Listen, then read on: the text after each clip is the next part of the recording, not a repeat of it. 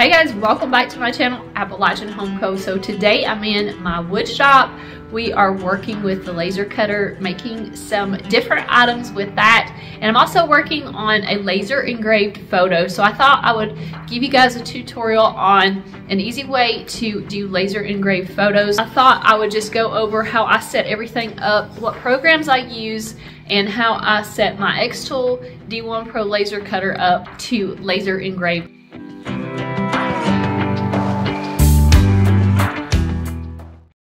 So I'm going to be using the Xtool D1 Pro along with the Air Assist. The Air Assist is really going to reduce the burn marks around your design. So we're also going to be engraving on this 3 quarter inch piece of cherry wood. The program I'm going to be using today is Xtool Creative Space. This is the program that comes with your Xtool D1 Pro and this is what you're going to want to use to engrave or cut on any of your projects. Once you've opened the program, you want to go ahead and just drag and drop in your image. It doesn't have to be a PNG, it can just be a photograph. Next, I'm going to select the image and go into Edit Image. Here, I'm actually going to remove the background. You can remove any background from your picture just to make things clearer and give you a better result on your engraving. Now you just want to go ahead and save your photo. Now we're going to change some of the settings for this photo. I'm going to make sure that my processing type is set to engrave and it is.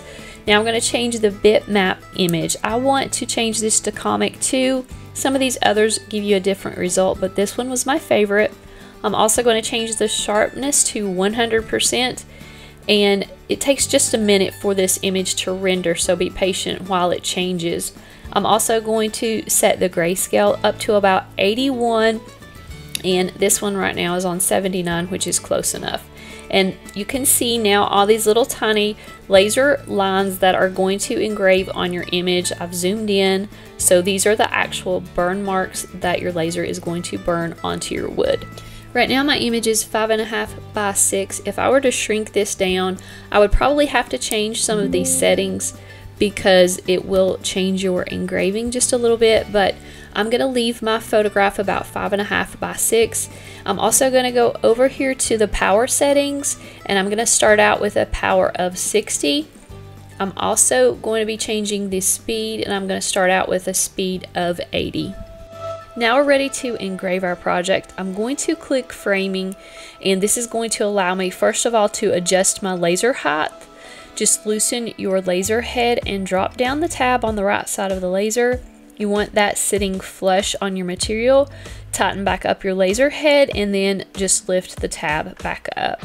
Now I'm going to move my laser head to the upper corner on the left side of my project and that's where I want my laser to start and I'm just going to hit framing and it's going to go all the way around the boundary of your project so you want to make sure that fits on your piece of material.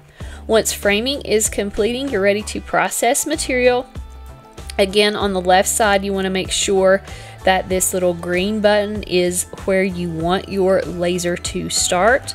So I'm going to go ahead and start the project. And now all we have to do is click the button on the device to start the project, to start engraving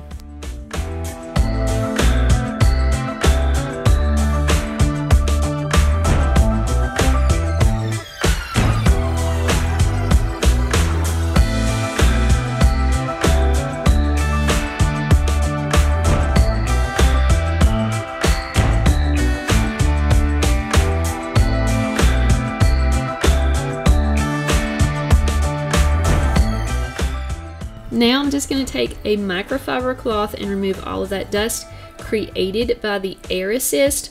But you can see how super crisp and clean this image turned out. I absolutely love it.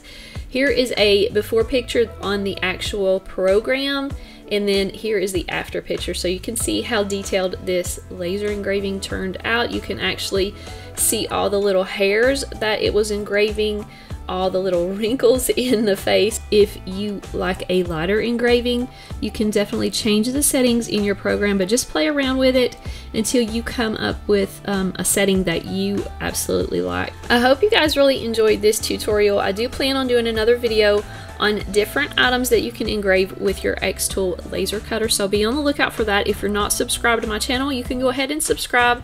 You'll be notified the next time I post a video. And I will see you guys back again in my next one.